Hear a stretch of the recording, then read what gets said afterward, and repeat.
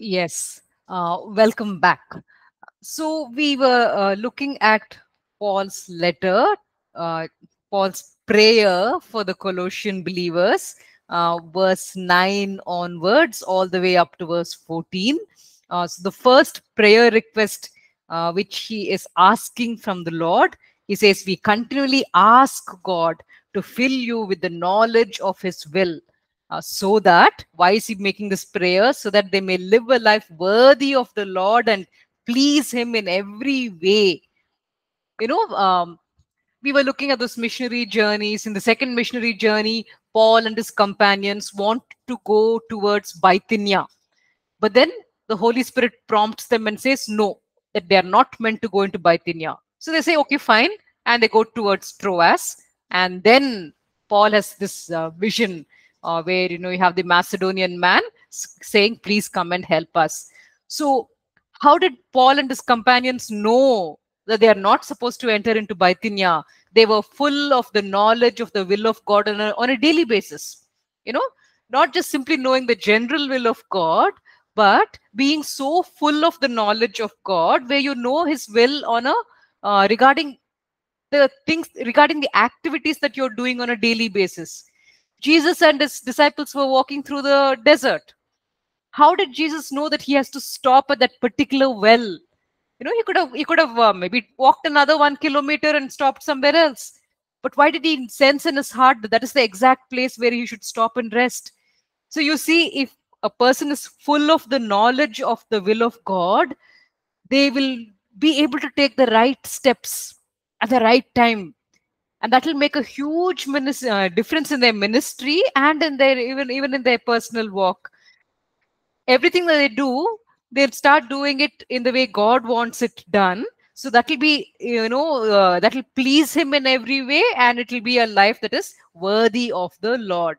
So therefore it is good to know the general will of god. It is also vital to be full of the knowledge of his will how do you gain access to something like this? How do you become full of the knowledge of his will? We are told that it comes through uh, the wisdom and understanding that the spirit gives. So this is this should become a prayer point you know where we pray during our you know during our quiet time and say lord i need this wisdom and understanding which you alone can give me. I want to walk in this kind of a wisdom and understanding so that lord if you know because it says very plainly that the holy spirit will give this to us if we ask for it you know he will give us this wisdom and understanding. Paul was asking it for those people. We can ask it for ourselves and say lord give me this wisdom and understanding that comes from the spirit so that hour by hour i am filled with the knowledge of your will and i get all my decisions right so that i will do what i'm meant to do and it will be so pleasing to you. You know so it's something that we can ask so the second prayer point that Paul asks for these Colossian believers is that you know they would be strengthened with all power. This this would be verse 11. They would be strengthened with all power according to his glorious might. Why? Why does he want them to be strengthened with all power? So that you may have great endurance and patience. When you become full of the knowledge of the of God's will, you know there are so many things that god is going to be asking us to do. We will not be able to do it in our own strength. When you're you know ignorant and blind to what god wants you can sail through the whole day not even realizing that god had actually wanted so many things from you. But once you become full of the knowledge of his will and you become aware that oh god wants me to call up so and so and speak to them. God wants me to send spend half an hour in prayer interceding for someone once you start becoming aware of what god actually wants you to be doing with your day then now now now, now that you're aware of it you would have to act upon it. And it's not something that you can do on your own. So he says you know you would need great endurance and patience to live in this way. And so paul is saying that god would asking um, Paul is praying and asking the Lord to strengthen them with all power so that they will be able to exercise great endurance and patience and live in a way which is worthy of God.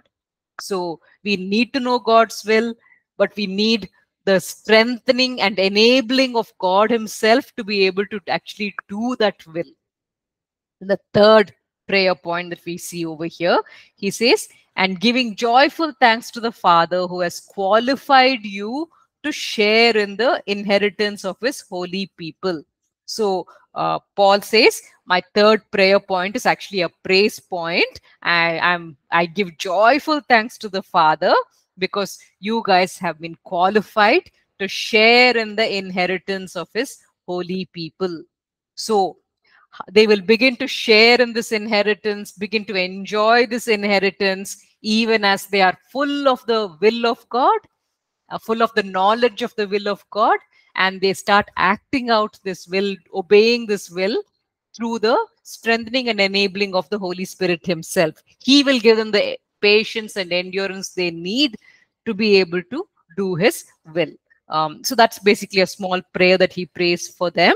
And then he goes on to talk about this, uh, you know, this thing which is on his heart because there are wrong teachings which have been coming into the church. And he wants to stress that it is Jesus who should be the center of our focus. Um, it is Jesus who is supreme over all things, including the spirits.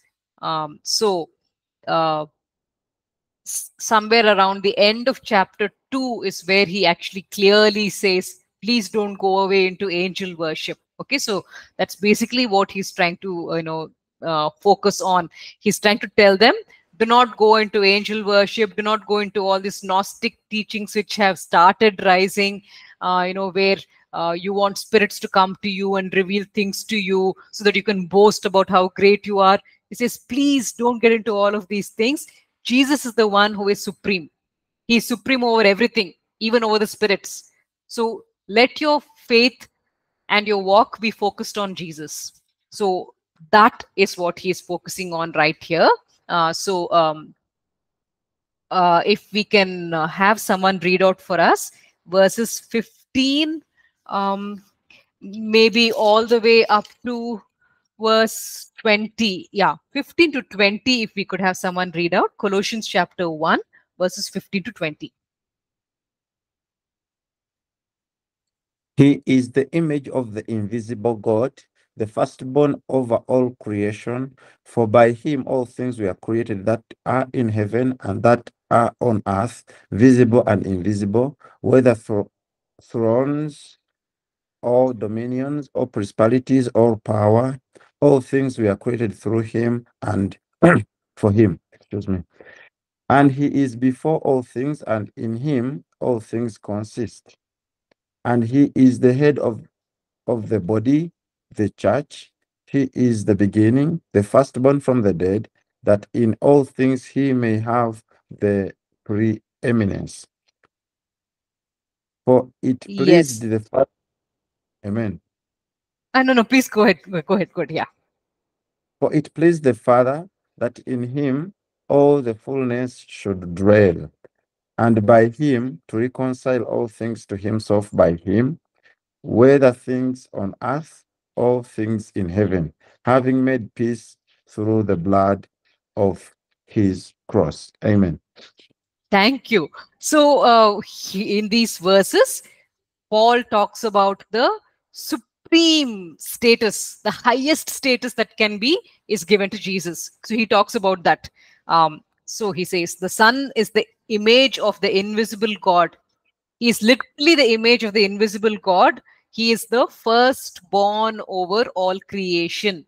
Uh, not sure whether we have touched upon this in other classes. We most probably have the word firstborn over here it's not talking about jesus being um, you know uh, being created by god as the firstborn in the creation process no uh, because the, the this is how the jehovah witnesses would use this particular verse they say see in the beginning god created the uh, created creation and one of the first acts of creation which he created was jesus no that is not what this verse is saying. This verse is not saying that Jesus is firstborn in that sense. It is saying he is firstborn over all creation. It's talking about a technical term. It's a legal term which refers to the inheritance, the authority which comes to the firstborn. So that word firstborn is not talking about someone being born biologically or not. It's talking about the legal status that they have, where they hold all the inheritance, where they exercise all of the authority. Um, so um, very difficult to remember what I have touched upon in which class. But in case I have not, maybe we should, you know, when uh, go uh, look at this. In uh, biblical times, if a Jewish person, let us say he has two sons, uh, one of course is, was born to him biologically first, and then the second son was born second. Uh, so, as long as the first-born son, the biologically first-born son, is alive, he's probably the one who would be inheriting the property. He's the one who would be given, you know, full authority uh, in that household. So yes, he is literally the firstborn when it comes to biological birth, and when it comes to the legal sense of the term firstborn, also he is the firstborn in the sense he is the one who holds the inheritance. He is the one who uh, exercises the authority. But let us say he has an accident and he dies. He's now dead. Now the second born becomes the first born. Does it mean he somehow uh, miraculously uh, was biologically born first? No, it's not talking about his biological birth at all. The second born is now the first born in the legal sense. The second son is now holding the inheritance. He is now holding the authority.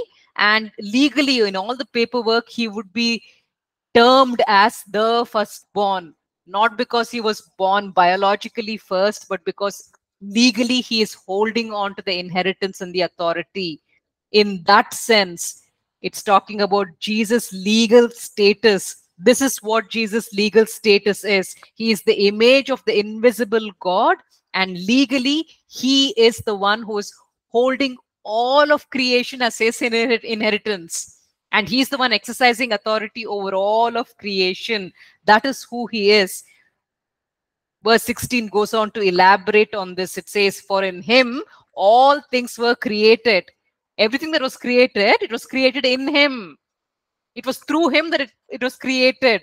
So obviously, he is the one who has um, legal inheritance, authority over all of creation because of who he is. It was in him that all things were created, things in heaven and on earth, visible and invisible whether thrones or powers or rulers or authorities. So the things which you can see visibly on this earth, the trees and the mountains and the natural resources and the human beings, yes, he is he has ultimate authority over all of these now things which we can see but he also has ultimate authority over all the invisible things which you cannot see such as these thrones and powers and rulers and authorities it's talking about these uh, spiritual forces in the unseen realm.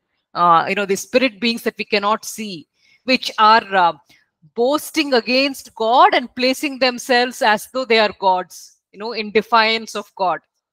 Even uh, Jesus, Jesus is Lord even over such creatures. So he very specifically, you know, talks about these four categories of spirit beings the thrones and the powers and the rulers and the authorities. Now, this reminds us of our Ephesian passage because in the Ephesian passage, just before talking about the you know armor of God, uh, Paul he, he writes over there and he says, you know, you guys are fighting against these four levels of spiritual authority. So you better wear your armor. If you're not fully clothed in your armor, you know, you may fall prey to these four levels of uh, demonic powers. So uh, those powers are mentioned over here, even in the Colossian passage. And um, three of them are identical with the ones which he mentions over there in the Ephesian passage. In the Ephesians passage, he the first category that we had talked about were the archas, you know, in the Greek. Um, so these are the ancient ones, the most supreme ones. So here again those the same archai are mentioned over here in this verse. He also mentions the exousia the authorities who that were mentioned in the ephesian letter uh, the ones who exercise uh, you know delegated authority. So those exousia are mentioned even over here. The same greek words are being used the archai the exousia. Um, The third term seems to be a little different. Um, you know, in the Ephesian letter, it talks about the powers. Uh, they are called the cosmokratos, the rulers of the cosmos, the you know the, the world rulers. Here, uh, the word kurio is used. You know, they are they are called uh, lords or masters. Uh, so, um, two different words. In the Ephesian, you have the term cosmokratos. Here, you have the uh, word kurio. Both of them basically mean lords and masters. The the fourth one seems to be different. Uh, there in the Ephesian letter, it talks about the evil spirits of this world. Uh, whereas here it talks about thronoi, the thrones. Uh, so, um, you know, that's just one uh, different category that is mentioned over here. Uh, so, you know, in all of his interactions with the with the Lord, these are things which the Lord has revealed to him. That these are the kind of uh, demonic powers that are there in existence, and our fight the fight of the church is against these forces. So here, uh, Paul is saying all these, you know, very big, powerful, mighty spiritual powers, even they are under Christ. Christ is ultimately the superior authority. He is the firstborn over all creation. Uh, so these these things which you people are, you know, kind of uh, looking up to and beginning to admire. Okay not the church. The church was not doing that. But you know other people were doing that and the church was getting kind of attracted in that direction. So he's warning them. He's saying the way the people of this world you know they they they worship these creatures like as if they are something very big and great and for them it's like a great honor if one of those creatures comes and you know visits them and gives them a vision please don't go after such things he says you know hold on to Christ because Christ is in authority even over these the, over these creatures. He says all things have been created through him and for him. So originally even these spiritual powers these you know these spirit beings they too were created through Christ for Christ to honor him to worship him to do his bidding. And then they chose to rebel against him. But actually in reality even these creatures were also created through him and for him. Um, we in fact see that right about uh, uh, that uh, about about satan in ezekiel. Um, if someone could just you know go to ezekiel and read out ezekiel chapter 28 look at the way it talks about Satan over there. What is he created for? You know, what has he been uh, um, made for? Ezekiel 28, verses 14 and 15. If someone could read out Ezekiel 28, 14 and 15. We, you were the anointed cherub who, who covers. I established you.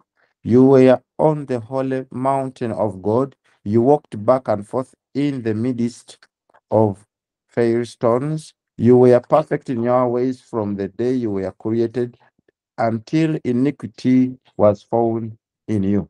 Amen. Yes. Amen. Yeah. You know, all of you, a lot of you are reading out the verses without even me having to like urge and also thank you so much, you know, for uh, the very quick responses uh, today. Uh, yeah. So here in Ezekiel 28, it says so plainly in verse 20 uh, uh, yeah 28 verse 15 from the day you were created satan was just a created being and he was created with a purpose what was he created for verse 14 it says he was ordained and anointed to be a guardian he was supposed to be this guardian uh, cherub you know this guardian angel who would be guarding the holy mount of god that was what he was created for. So even Satan, you know, was created through Jesus, for Jesus, to serve Jesus, to, to guard this holy mount of God. Uh, and so the irony is that someone who was supposed to, you know, be guarding the holy mount of God chooses to rebel against God due to, the pride in his heart. He does that. Uh, so all these creatures are under the supreme authority of the firstborn over all creation. So our focus should be on Him, not on these lesser beings. Uh, we should long maybe for a visitation from Him, you know, through His Holy Spirit. Rather than wanting visitations from all these evil spirits which which which uh, which claim to be giving us mystical superior knowledge. Okay so um, so in verse 17 he says he, uh, jesus is before all things and in him all things hold together. Everything is being held together by this jesus not by the spirit beings. It's jesus who's holding everything together. Um, if you look at the visible world you know the the planets that we can see uh, the the the natural uh, forces on earth you know this the oceans the winds everything it's all being held together uh, by jesus. If jesus were to stop sustaining these things you know there would be complete chaos. In a matter of minutes maybe the entire universe would just crash. It would not be held in place in its proper positions you know without jesus holding on and sustaining it. So it is that important. He is in the center and everything is being held together by him through his authority. And uh, so even these spiritual beings they wouldn't last a moment without him. He has given temporary permission to them to you know wreak their havoc which is what they are doing right now. But it's a temporary permission that is being given to them. Uh, we see that so clearly in john 12 31 where it says now is the time for judgment on this world. Now the prince of this world will be driven out. So you know when the when the right time comes jesus is, just comes into the world and very casually he just drives the prince of this world out you know on the cross the prince of the world thinks that he's being very very clever by putting jesus on the cross but uh, actually it was jesus who was turning the tables on him.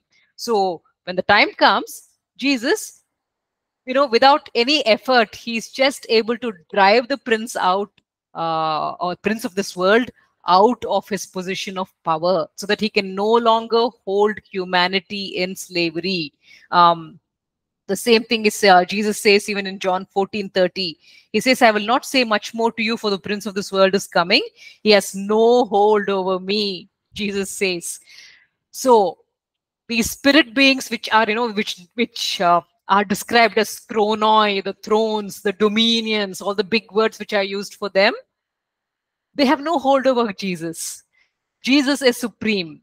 He holds them in place and gives them temporary permission to do what they want because God is going to even use this evil and he's going to turn it into good to accomplish his ways. Uh, so uh, God has his own purposes for allowing this, but uh, these spirit beings have no hold over Jesus. So we our focus should be on this Jesus rather than on the spirit beings. Um, you know, is what Paul is saying over here to his Colossian audience. And um, then he goes on to talk about how the church has this special privilege of being so personally connected to this very, very supreme, you know, all sovereign Jesus. You know, we have such a personal connection to this uh, highest of highest kings and lords. Uh, what is our very personal connection to him? Uh, that is talked about in uh, verse 18 onwards. Um, if we could have someone read out for us, uh, 18, 19, 20, please. Verses 18, 19, 20 of chapter 1.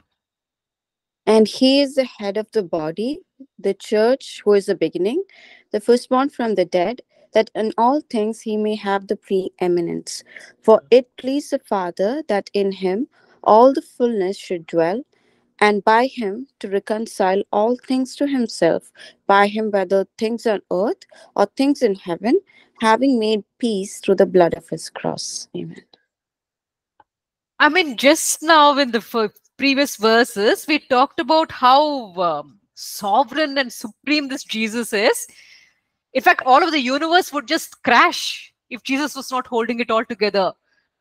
And this Jesus, who is so supreme and sovereign, gets so personal and gets so involved with such insignificant beings like humans.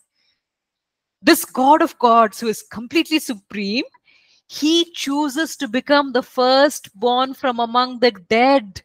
I mean, imagine this supreme sovereign Jesus chooses to taste death on behalf of humans. Where's the need for him to even do that? But that's because of the love that this that God has. So, you know, it says um, in verses 19 and 20, it's so beautiful. Verses 19 and 20, it says, God was pleased to have all his fullness dwell in this Jesus so that through this Jesus, you know, both of them together can reconcile mankind to themselves. The love that God has for us. Such a supreme sovereign God, such a high status. He loves us so much that he allows this Jesus to come to this earth so that through Jesus, you know, God the Father and God the Son can reconcile humanity to themselves. Uh, so, on behalf of us humans, Jesus chooses to taste death. And it's so beautifully expressed in Hebrews 2 9, you know, where it talks about the high status of Jesus being made low on our behalf. This is what it says in Hebrews 2 9. If someone could read out for us, Hebrews chapter 2, verse 9.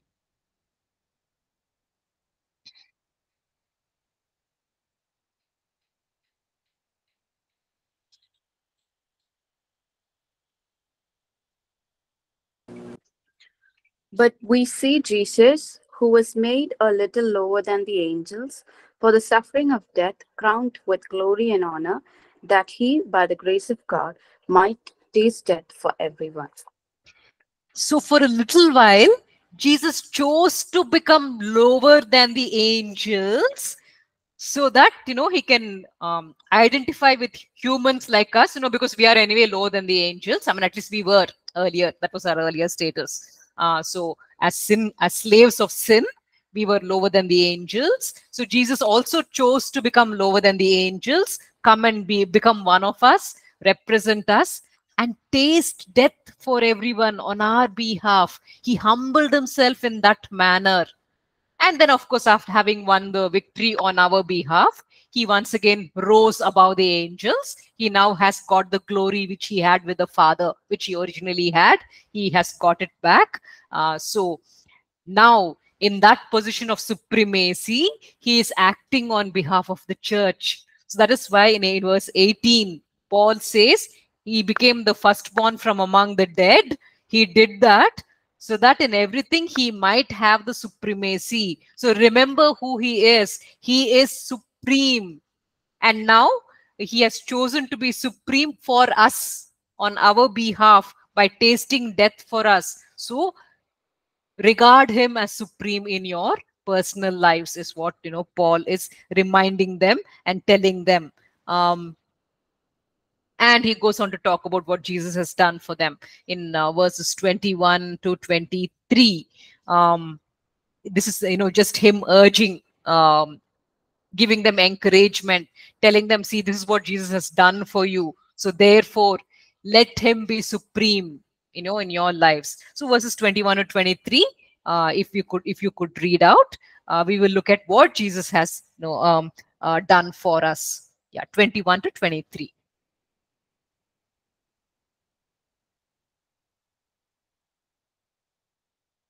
And you, who once were alienated and enemies in your mind by wicked works, yet now he has re- reconciled in the body of his flesh through death to present you holy and blameless and irreproachable in his sight.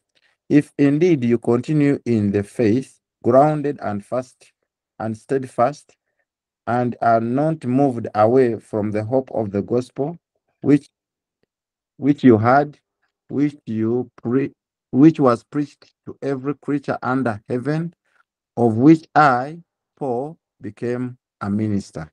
Amen. Amen. So here, um, again, he's referring to the gospel, the true gospel which was proclaimed to every creature. So, what does this true gospel tell us? This true gospel tells us that we used to be enemies of God once upon a time. No, we were we were enemies, but Jesus chose to come down, and in his physical body, he chose to die for us So now, if we are reconciled to God through this Jesus, then, you know, one day we will be presented before the Father without blemish, free from accusation. So the exact wording is this He says, Now He has reconciled you by Christ's physical body through death to present you holy in His sight, without blemish and free from accusation. If there's an if, if over there mentioned, if you continue in your faith, established and firm, and do not move from the hope held out in the gospel. There are two things that you Christians need to continue doing, he is saying to the people. He's saying, God will one day definitely present you without blemish. You know, you will be presented before God. God will present you to himself without blemish, free from accusation, fully accepted, no longer enemies, considered as friends, considered as loved ones, as part of God's family. This is how God will present you to Himself if you do two things. You need to continue in your faith, established and firm, and you should not move from the hope that is held out by the gospel. So, any true proclamation of the gospel will involve this message of faith and this message of hope.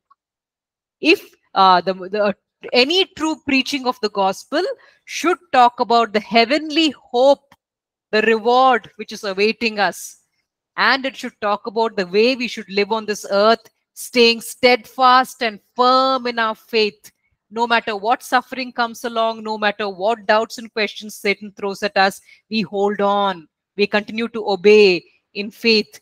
We do this because we have that eternal hope and reward to look forward to.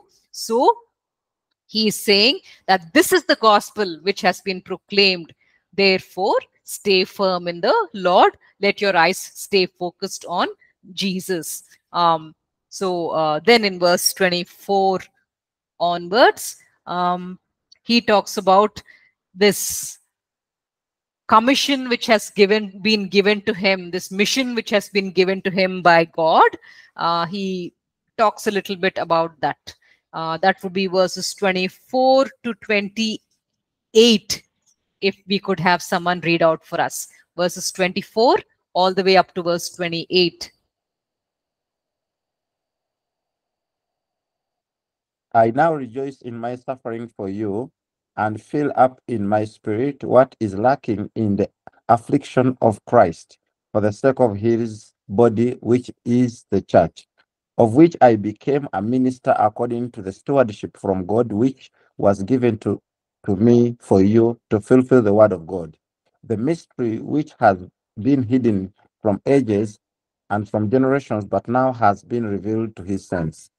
To them, God willed to make known what are the riches of the glory of this mystery among the Gentiles, which is Christ in you, the hope of glory.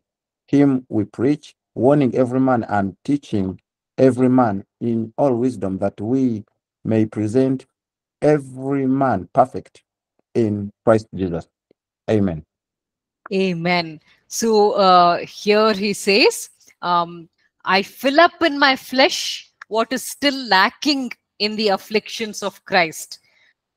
Christ, when he uh, cruci was crucified on the cross and he declared it is finished, he indeed finished everything that is required for our salvation, for our redemption and deliverance.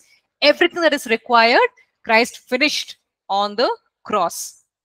So, what is still lacking in the afflictions of Christ? Somebody has to now take what you know somebody has to now go and tell people what christ has done. Otherwise it stays incomplete right? Uh, so he says now my job is to tell everyone to present to you the word of god in its fullness. This mystery you know which is it was hidden in the, in the past but now jesus has come.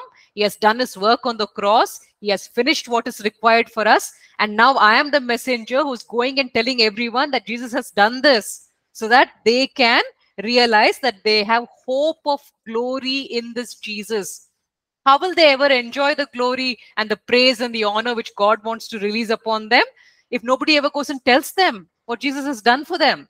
So someone has to do that. So in that sense, we all, all of us, the church, we are supposed to um, fill up in our flesh what is lacking in the afflictions of Christ. So Christ was afflicted. Christ finished whatever is required for humanity. He has completed the work of redemption. But now we need to go and tell people about this because only then they will discover this great mystery that we, people like us who were enemies and rejects, we now have hope of glory through Jesus, in Jesus.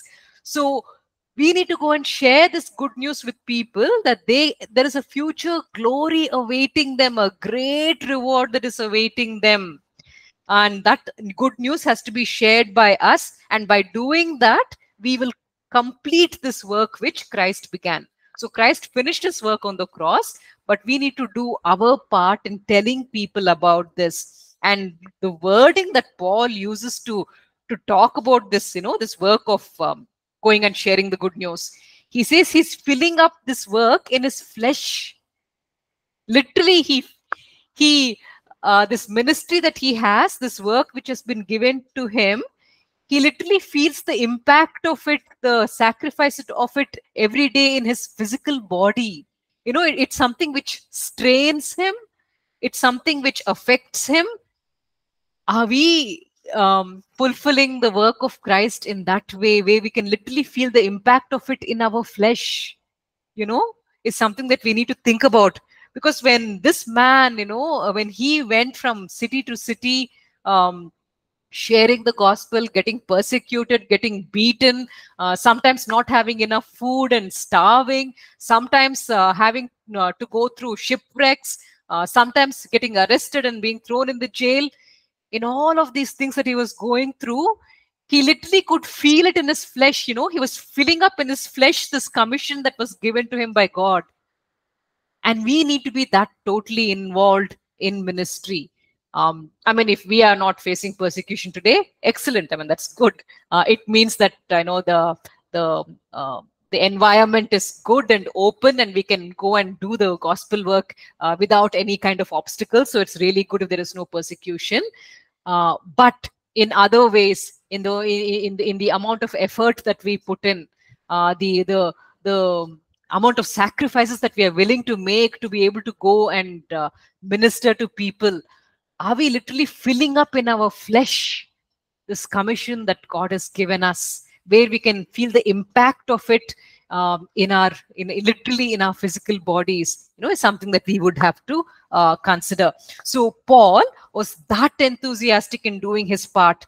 He was filling up in his flesh on a daily basis uh, what uh, the whatever he needs to do for the for the sake of the church.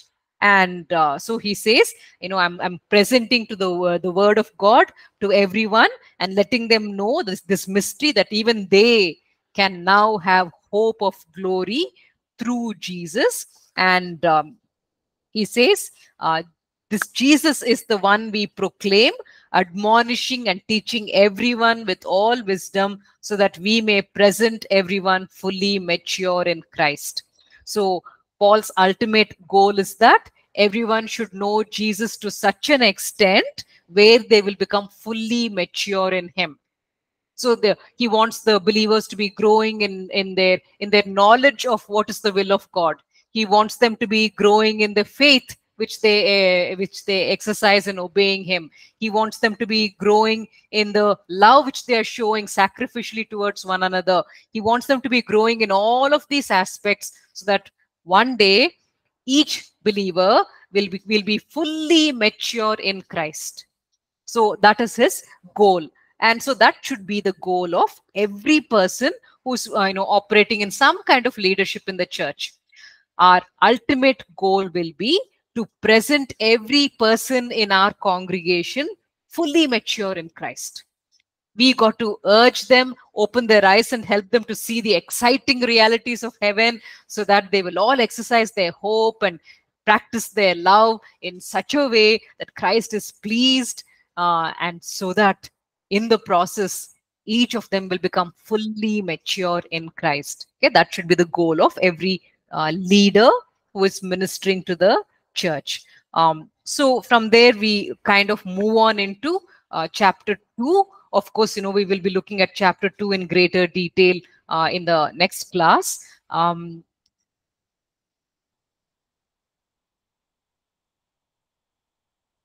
okay, uh, yeah, Enoch says that they're having a um, blackout uh, in Nigeria uh, due to a lack of power supply. So yes, uh, yeah, we will maybe you know pray when we are having a concluding prayer. Yes, we will definitely put that as a prayer point. Um, yeah, so in the, in the little time that we have left, um, we let's get into chapter two. Um, if we could have someone read out for us the first five verses. Yeah, chapter two, uh, verses one to five, please.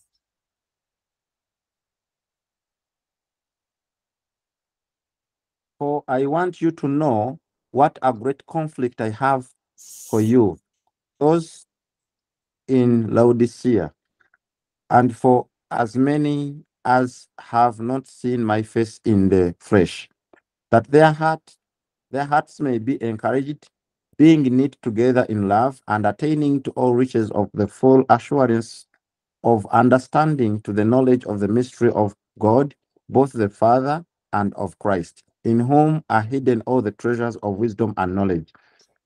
Now, this I say, lest anyone should deceive you with persuasive words. For though I'm absent in the flesh, yet I am with you in spirit, rejoicing to see your good order and steadfastness of your faith in Christ. Amen. Yes. So here he says, uh, you know, I wanted to know how hard I am contending for you. So he says, I'm going all out, you know, like, like I'm, I'm giving every bit of myself in uh, fighting for your spiritual uh, growth uh, of you guys in Colossia and the people in Laodicea and all the other places, people whom I have not even met personally. You know, I'm I'm really uh, struggling in prayer, interceding for you, you know, writing to you, encouraging you. I'm doing all of this because um, this is my goal. My goal is that you may be encouraged in heart, uh, you know, which is basically one way of saying, you know, that you may have hope, that you may be encouraged in heart. Second, that you may be united in love. Um, and the, the, third thing he says is that so that you may have a complete understanding of the full riches which are yours. So again, we have that that trifecta being, you know, being brought out over here: faith, hope, love. All the three are being uh, mentioned over here. So he wants them to be encouraged in their heart and be full of hope. He wants them to be united in love, and he wants them to have a complete understanding of the full riches. You know, they'll so, so they'll be they'll be fully confident, and their faith will be uh, uh, fully bolstered up by the knowledge that you know there are riches which are backing them up heavenly riches which are backing them up. So he says he wants them to have these three things you know in their full uh, capacity. That is his goal therefore he is literally contending for them fighting for them in prayer he is um, you know writing letters to them he's sending messengers to them who will uh, talk to talk to them on his behalf and encourage them so he's doing everything that he can. And he's doing all of this while sitting in prison in Rome. So we who are not constrained like him, you know, who have the freedom of movement to be to, to go around as we please, we should be contending even more than him. Uh, because he was not, you know, he was not saying, okay, I'm under arrest, there's not much that I can do, and he didn't sit back. Even though he was in prison, he still had this burden and this passion to give his very best for them. So, in the same way, whatever God has called us to, we should be contending and giving our best in whatever it is that God has uh, laid on our hearts uh, to do. So, um, he says, um, in this um, in this Christ, we have uh, all the treasures of wisdom and knowledge so, because in Christ we have all the treasures of wisdom and knowledge, don't get deceived by fine sounding arguments, is what he says. Um, but rather, he says, you know uh, he wants them to be uh, firm in their faith in christ. So he says in verse 5 um, uh, that he's delighted to see how disciplined they are and how firm they are in their faith in christ. Uh, so he wants them to continue being like that. He says you know in christ you have all the treasures of wisdom and knowledge. You don't need some spirit coming to you in the middle of the night and giving you some kind of fake knowledge. Okay so he says do not be deceived by these fine sounding arguments. Uh, there are two kinds of uh, fine sounding arguments that were going around in that in that church. Some of it might would have come from the judaizers uh, of course um, but some of it was, was, was also coming from these uh, beginnings of the gnostic philosophy you know where people were beginning to focus more on spirit beings and the spirit realm and things like that. So when when when people stand up and talk about these things oh it sounds so interesting. It sounds so fine. And people may get drawn away. They may think oh gospel message is so boring so dull. Look at these exciting things which these people are talking about. They're talking about visitations from spirits. They're talking about uh, hidden knowledge and mysteries. Oh that sounds so exciting. Gospel message on the other hand it sounds so simple so simplistic. It, it and it's all about sacrifice and the cross so you see the gospel message didn't doesn't sound very appealing to human ears. Uh, on the other hand these other things sound adventurous and interesting. But um, it is in christ that we have our hope. This is the mystery which paul wanted to unwrap and you know tell us that our hope of glory is in jesus. So he says do not be deceived by these fine sounding arguments. Rather hold on to the wisdom and knowledge which god reveals to us which jesus reveals to us to us is what he uh, says. Um, so in the same uh, you know same line uh, a line of thought uh, he says in verse 8 beware lest anyone cheat you through philosophy and empty deceit according to the tradition of men according to the basic principles of the world and not according to christ so he's saying all this philosophy you know which these people are uh, you know spouting just to cheat you uh, it is empty deceit. There's no power in it. It may sound very nice to the ears but there is no power in it. It doesn't give you the power to uh, enter heaven. It doesn't give you the power to live a, a, a, victorious life on this earth. It doesn't give you the power to walk into the abundance which christ has for you. So you see these things sound very fine to the ears. They sound exciting they sound interesting but they're empty. They're hollow. There is no power in any of these philosophies and teachings. Rather the the the, the knowledge uh, and the what's it the wisdom and knowledge the treasures of wisdom and knowledge of christ that contains true power. So hold on to that is what he says. Um, there's a term that he uses over here which is you know translated differently in the nkjv and in the niv uh, in the nkjv it says you know do not be cheated uh, by the basic principles of the world. Whereas in the NIV, it says, you know, don't be cheated by the elemental spiritual forces of this world. So that Greek word that is used over there, some people think that it is just uh, that word refers to wrong principles and philosophies. But on the other hand, that same word can also be used to talk about spirit beings which are conveying something wrong. So, which is why in the NIV and some of the more modern versions, they prefer to use this particular term. They call it the elemental spiritual forces of this world. You know, uh, these there are there are in the spiritual realm there are hidden uh, demonic forces which are releasing wrong thoughts and ideas into people's minds.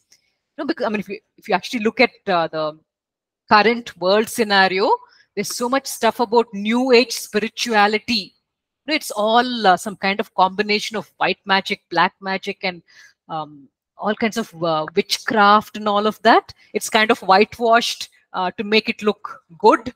And it sounds very interesting. And you have a lot of stuff on youtube you know regarding all of that. Youngsters are getting attracted and drawn to such things uh, because it all sounds so mysterious and fun you know. Um, so there are actually uh, demonic uh, beings in the spiritual realm which are releasing these teachings and thoughts uh, into the world today. So um, that term which is used in NKJV, which just simply says basic principles of the world. It's not just principles and thoughts and ideas. It's the demonic forces which are releasing these thoughts and ideas. So he says, don't allow yourself to be cheated by these things because these things are all fake and there is no power in them. All right. So we'll conclude with a word of prayer. And uh, next class, you know, we'll look in greater detail into uh, chapter two and then the remaining chapters. So yeah, let's pray. Lord, we just thank you so much for today's class. We thank you, O Lord, for all the things that we could uh, learn. Um, uh, we pray, Lord, that we would be excited about heavenly things, that we would realize the bigness and magnitude of what is waiting for us over there, so that we will not no longer be very interested in our little careers and our little promotions and our little gadgets and the things of this world and we will realize the bigness of what is awaiting us the glory of that is awaiting us uh, in the heavens oh lord. And we pray that as a result of that we will walk in faith no matter what sacrifices we have to make and that we will act in genuine sincere love towards one another even if it means um, you know, putting other people's interests before our own. Help us, O oh Lord, to live in that way. And we pray that if we are teachers or pastors or ministers, we will share this with other people so that they too can become excited about the things of God and so that we can get our eyes off wrong priorities. Lord, we also pray for Nigeria and the crisis that they are going through currently.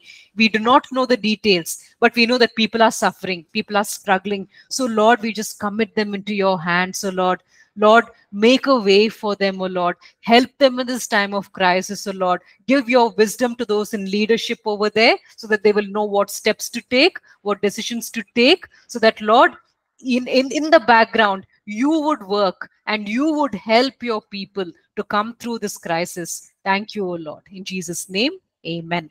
Thank you so much. Uh, we'll meet again next class.